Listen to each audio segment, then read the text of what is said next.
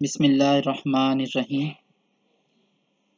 Dear students السلام علیکم۔ آج کا لیکچر اس دعا کے ساتھ شروع کرتے ہیں۔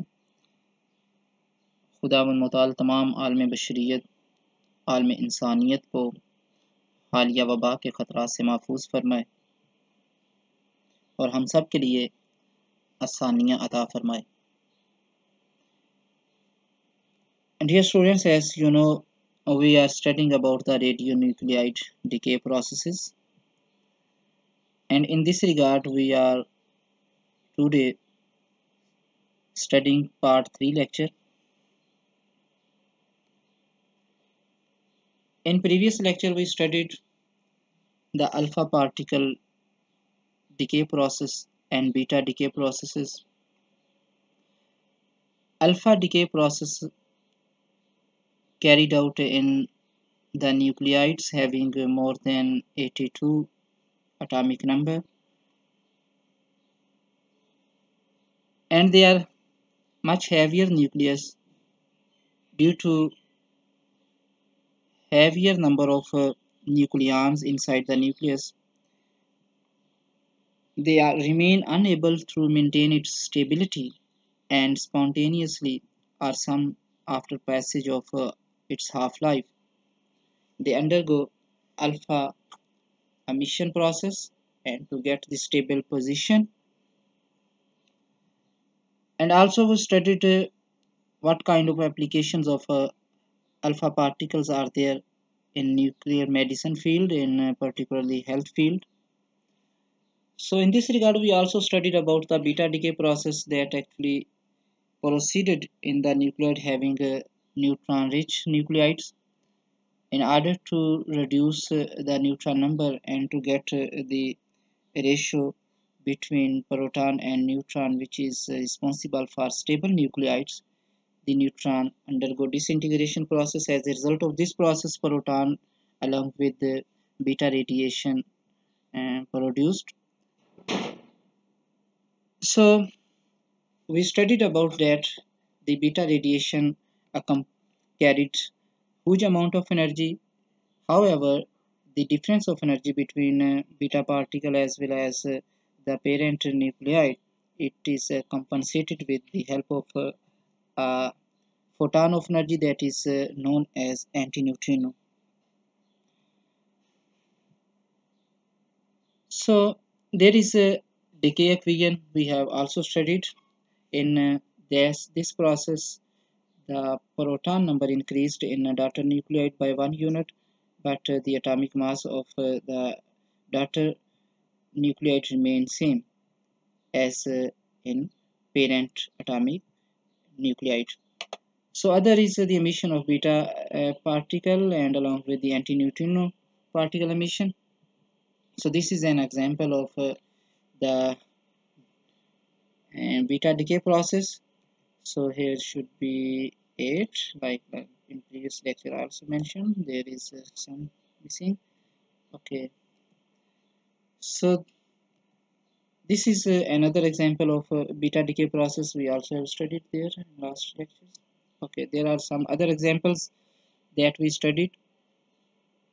All these uh, nucleides undergo beta decay processes and uh, these newly formed uh, daughter nucleide still in its excited state. So they undergo some uh, gamma ray emission uh, process decay process and uh, become stable.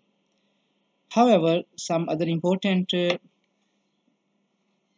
parameters that associated with the beta decay process is that when beta particle emitted by the radionuclide can produce what is called Bremsstrahlung by interaction with the surrounding medium so electron passing through matter are decelerated in the Coulombic field of atomic nuclei and as a result the loss in electron energy appears as continuous X-rays. So this effect is called Bremsstrahlung effect in which X-rays are produced. So what actually the process, what actually the uh, procedure in which such type of energy, such type of radiations are emitted by the passage of uh, beta radiation through the atomic uh, environment. so it is explained by this diagram. Okay. Let's consider this nucleus actually this beta particle uh, or uh, electron actually emitted from the nucleus of uh, other nuclide so when it passes through the electronic environment of uh, surrounding atoms so this is decelerated. Why this is decelerated? Because you know there is uh, a coulombic repulsion between this is also electron these are also electron. So there is a coulombic repulsion. Due to this repulsion it uh, loses its uh, path as well as uh, the energy its uh, speed.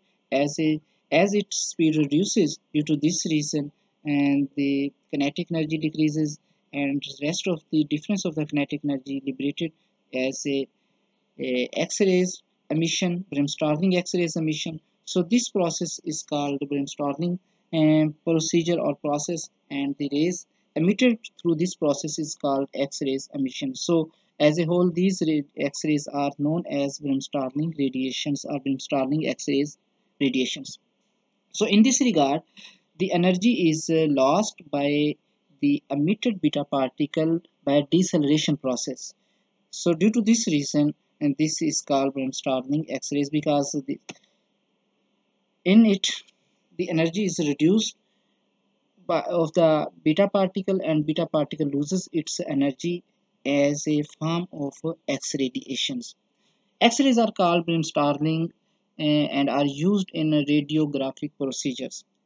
So the probability of producing Bremsstrahlung increases with increased electron energy and increasing atomic number of the medium. Yes. This is very important. The probability of uh, producing Bremsstrahlung increases with increasing electron energy. If an electron have very small amount small energy so it, it liberates some amount of energy as in the form of Bremsstrahlung radiation. So what happened?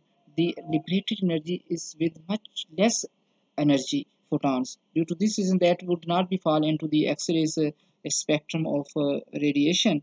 So due to this this reason if the electron or beta particle that is actually emitted from the nucleus as a result of uh, neutron disintegration if it has greater amount of energy in it so by the deceleration process through the external environment of atomic nuclei what actually happen? Much energy is liberated that fall in the spectrum of x-rays so other thing is that the this process of uh, production or formation of Bremsstrahlung radiation or production of Bremsstrahlung radiation is uh, increased with the atomic number. So what is meant by increasing the atomic number? If the atomic number increase, it should be in your mind the number of neutron, electron and outer orbital will also be increased because atomic number increase means the number of proton you actually going to increase inside the nucleus if number of proton increases inside the nucleus so the number of uh, electron also increase out in outer orbitals. So if there are greater outer orbital uh, electron so there is most probabil probability to reduce to effect to imply the coulombic force over the emitted electron. So in this regard it will decelerate and as a deceleration process it will emit the radiation with a great amount of energy. So that is uh, Bremsstrahlung X-rays emission that will fall in the X-ray spectrum so this is uh, associated with the increased atomic number of the medium. In tungsten, for example, a 10 mega electron uh, loss about 50% of its energy by Bremsstrahlung. Okay. If an electron having energy 10 mega electron volt in tungsten element, there are about 50% of its energy like that 5 mega electron volt will be uh, emitted uh, through deceleration process of uh, surrounding nuclei atomic nuclei in the form in the form of Bremsstrahlung radiation. Whereas a 100 mega electron volt lose more than 90% of its energy by this process. So by increasing the energy of the electron so probability of uh, formation of Bremsstrahlung radiation increase very rapidly. So this was the reason that why because it should be in your mind greater the energy greater will be the effect of coulombic force. So you know Coulombic force uh, is equal to K naught Q1 Q point charge 1 into point charge 2 divided by R square.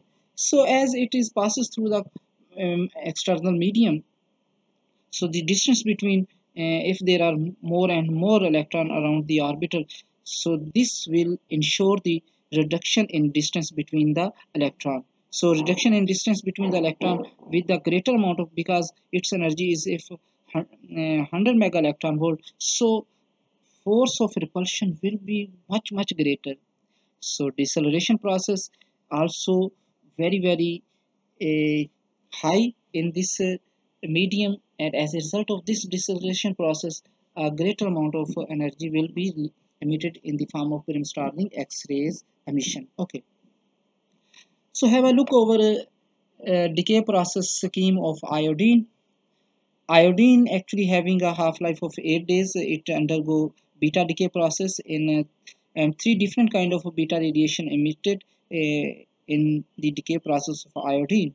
One is uh, 723 kilo electron volt and other is a 637 kilo electron volt and other is 364 uh, kilo electron volt. And this is uh, about 90.4 percent. After this process when it comes still it is uh, 364 kilo electron volt above the ground level. So this is a ground level which actually at zero level. Okay i can this is a zero mega electron volt kilo electron volt. Okay. So at this process iodine have to come here in order to stabilize. But uh, after the beta decay it is this emission is 1.6 it is much much at higher excited state because the difference of this is much much greater. So this is about 637 so always more than 90 percent of iodine atoms trying to appear at its lowest uh, uh, uh, stable state. Highest stable state and lowest uh, potential energy state and due to this reason it is a 364 kilo electron volt from ground state. So after when this state is formed and uh, maximum of the iodine atoms uh, converted into this form so from this form to this form they liberate gamma radiation. So this is gamma radiation. These gamma radiation by liberation of this gamma radiation and now the new nucleoid xenon is appear to be stable. So this is uh, the decay process of iodine if we see another decay process so these are the x-rays okay. This is molybdenum. This is very important nuclide actually this uh, nuclide uh, uh, formed as a result of uh, fission process of uranium in the atomic reactor like that iodine and other so this is also beta emitter. As a beta decay process it uh, decay into technetium and further this technetium uh, which is uh, appear as a metastable go on to decay process isometric decay process into become uh, technetium 99 which is uh, highly stable having a long half-life. So come to the point uh, this is a molybdenum of uh, 42 and molecular atomic mass is 99 having its uh, half-life 65.9 hours so this is the ground state at which uh, its energy is likely to zero kilo electron volt this is a ground state but from this ground state, this is excited state of technetium. After emission of beta radiation, now it is a technetium. This is also technetium. This is also technetium. One 16.4% formation of technetium with the highly excited state. So 1.1% technetium is formed by the emission of beta from uh, molybdenum uh, with the excited state potential energy 50 500.1 kilo electron volt and 81.8 percent molybdenum converted into technetium having a excited state uh, potential energy about 142.7 kilo electron volt. Okay. This is with the greater uh, uh, probability to form in it. When this formed so all the other excited state come to this excited state. This process that is 140.5 kilo electron volt. And the excited state that appear to be by the 81.8 molybdenum atom into technetium that is 142.7 kilo electron volt also um, de-excited by the emission of uh, energy about 2.2 kilo electron volt. This is very small photon you can have, this is a 2.2 kilo electron volt photon of energy liberated by 99% of the excited new uh, technetium atom into uh, 140.5 uh, kilo electron volt potential energy uh, technetium atom. Now these technetium atom uh, liberate this amount of energy that is uh, 140.5 kilo electron volt and appear to 99 technetium this state is very important. Okay. This state is very important. The technetium atom which is found by the emission of a beta particle okay when molybdenum actually emit beta radiation about 81.8% technetium so at this state technetium spent 6.01 hour half-life. So this state because it is a uh, very uh, reasonable time at which it uh, remains stay in its disposition. So this state is called metastable. Metastable uh, mean not a stable state but uh, above this table it uh, spend most of its time and due to this reason it is called metastable state. So this uh, state is very important uh, about this in the field of radiopharmaceutical because this nuclide is uh, about 85% radiopharmaceuticals which are actually used for the diagnosis of uh, cancer diagnosis of infection inside the body or deep-sighted infections which are unable to be detected by other kind of uh, diagnostic instruments or uh, strategies in medical field. It have ability to diagnose such type of uh, abnormalities inside the molecule inside the sorry body uh, by the tagging with some radio uh, biomolecules. Due to its much important and affordable half-life. So after emission of uh, this photon of energy it undergo uh, further uh, formation of technetium that spent about 2.111 into 10 to 5 years Further, after spontaneous, uh, uh, spontaneously it uh, undergo beta radiation emission and ruthenium is formed which is a stable and no more decay process carried out by this. So, have a look over uh, this uh, important uh, figure that represent the effect of beta radiation as well as alpha radiation. Alpha radiation have ability to destroy very rapidly the DNA strand and beta radiation have a less ability to uh, destroy the DNA strand. It is double. So due to this reason alpha particles are more important in uh, therapy, therapy of cancer through nuclear medicine field uh, as compared to beta particle. However, beta particle also very important. It also destroys the DNA strand but uh, in, with less frequency as, as compared to the alpha particle.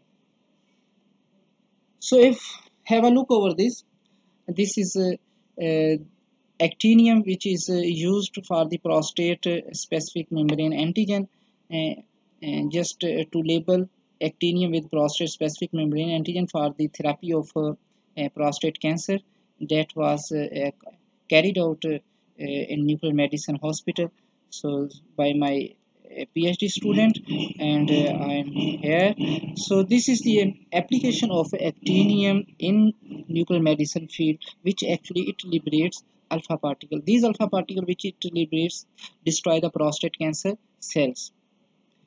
Other important is that uh, there is uh, lutetium. It is a beta emitter. So this beta emitter nuclide when labeled with the uh, gastropeptides so there are so many different kind of biomolecule that uh, one can use in order to uh, treat the cancers so this is uh, lutetium which is beta emitter it is a, a good agent for the neuroendocrine uh, for the destruction of dna dna either belong to any kind of uh, cancer not uh, specific to neuroendocrine cancer but neuroendocrine depends on the what type of molecule actually you are labeled with radionuclide uh, nuclide. Because that is the biomolecule that actually the main vector vehicle to take the uh, nucleides radionuclide at the site of uh, cancer cells. If there is a uh, prostate cancer specific membrane we attach so that antigen will take this radionuclide to the site of prostate cancer. If i uh, label it with mini gastrin peptide so this mini gastrin peptide will take the lutetium toward the neuroendocrine tumors so this is a lot of research carried out in the field of uh, radiopharmaceutical or nuclear medicine using the nuclide by using their effect of uh, beta radiation as well as the alpha particle emissions. So the third kind of decay process is positron or positron decay process. This is uh, a nuclei that are neutron deficient or proton rich. So if we see about uh, uh, the fact that there are two kinds of uh, uh, in the nuclide graph. One is below and other is above the um, uh, stable nuclide. So which are above the stable nuclide? Actually that are uh, that are the proton enriched less in neutron number. So these are with the light green color these are proton enriched. So due to this reason if we see all these uh, neutron number remain same but uh, this is going to increase the proton number. As we go up proton number going to increase okay? So due to this reason all these are rich in proton number which actually required for the uh, uh, stable ratio between proton and neutron. Due to uh, beyond this ratio the proton number going to increase in order to destabilize the nuclide. So in this regard proton will be dis disintegrated so by disintegration of proton which actually happen neutron is produced along with the beta positive. So there should be a beta positive. Uh, sorry we have to write here beta positive. Okay. So this is a beta positive or positron uh, along with neutrino. So uh, when we actually disintegrated the uh, neutron into proton and beta emission that there would be antineutrino. If there is a production of neutron from the proton that would be neutrino. This is also a, a carry the energy difference of the uh, nuclei uh, parent and the daughter nucleides. Okay. At the end of the path after positron particle emission the daughter nucleide has an atomic number that is one less. You yes because proton is actually going to disintegrate proton going to disappear. So one proton disappearing of one proton mean and there is atomic number one less in the daughter nucleide as compared to in the parent nucleide. So at the end of the path of the positron, positron particle, positron combine with electrons in the outer shell of the nucleides are thus annihilated.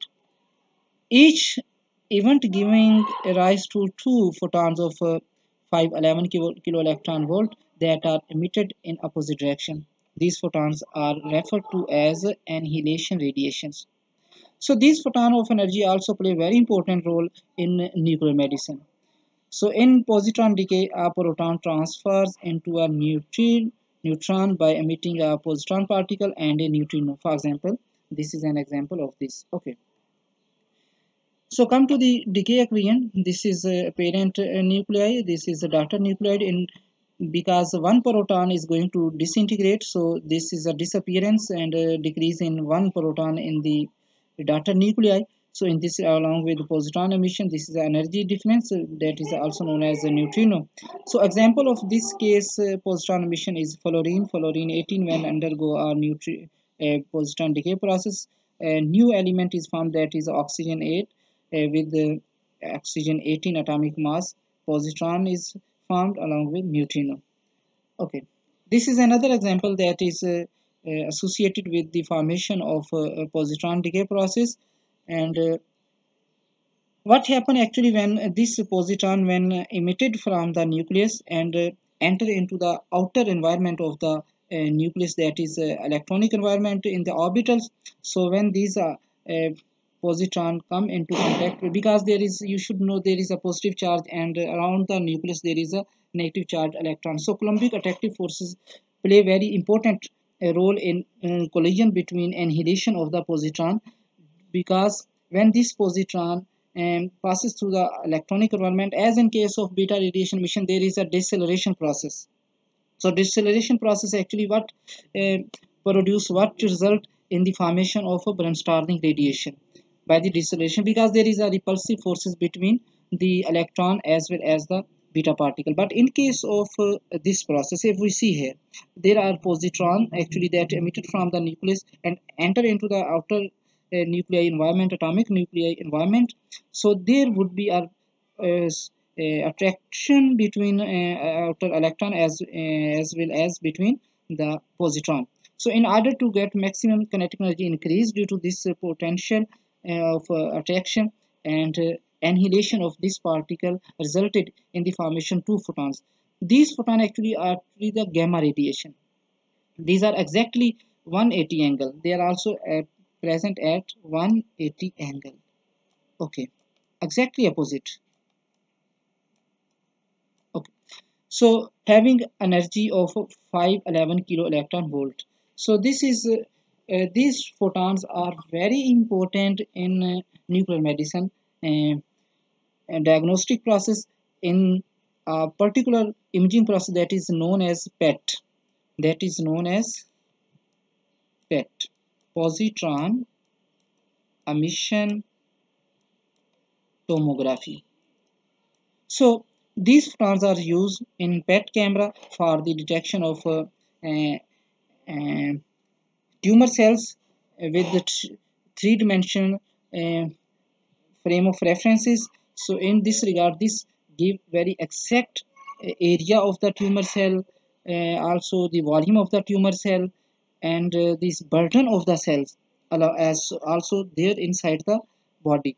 So it is much much important uh, technique by using positron decay processes so these nuclei uh, basically most of the with smaller nuclei these are actually what actually uh, carried out activated with the help of uh, uh, protons in cyclotron. So these protons which uh, actually activate um, are mm, activate the nucleus of an element. Again and and that's proton that now we have added into the nucleus of an element disintegrated. Again we come to the uh, original nucleus and by the emission of a two photon so in this regard this uh, decay process is very important uh, with respect to the and medical field. So there are so many examples. Uh, so what actually happened? It is very important. Uh, we uh, can come to the uh, point that uh, there is a particular energy difference between the parent and the daughter nuclei. So most it was seen that Uh, the difference of energy between uh, your parent nucleide and the daughter nucleide is more than 1.0 mega electron volt. So there is a difference. It is in more cases in more cases in which positron emission take place the energy difference between the parent and daughter nucleide was noted 1.02 mega electron volt. Therefore in beta decay a mass equivalent of two electron are uh, created by the conversion of a proton to a neutron that is 1.02 mega electron volt is needed to create these two particles. So positron emission takes place only when energy difference between the parent and daughter nuclei is equal to or greater than 1.02 mega electron volt. Some example of a positron decay process are like that. So decay scheme of fluorine is uh, presented in figure 3. Okay, this is a fluorine as you have seen in previous example. This is a fluorine that converted into oxygen eh, eh, 18 and by the emission of positron. So this is the process where this actually happened. More than 97% of the fluorine eh, and nucleide un undergo beta positive process and 3% with electron capturing process. So this is an alternate. This is another alternate process because it should be known there are two ways. Uh, one thing you should know like that one thing. This is a proton rich. Okay. What actually happened? Neutron is formed along with positron.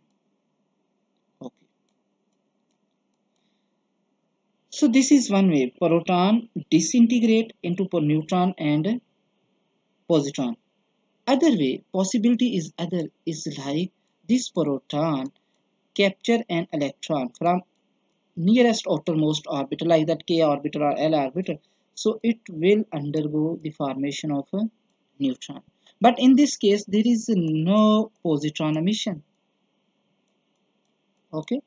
No positron emission there is. Only the emission of neutron formation of a neutron. So these are the alternate process.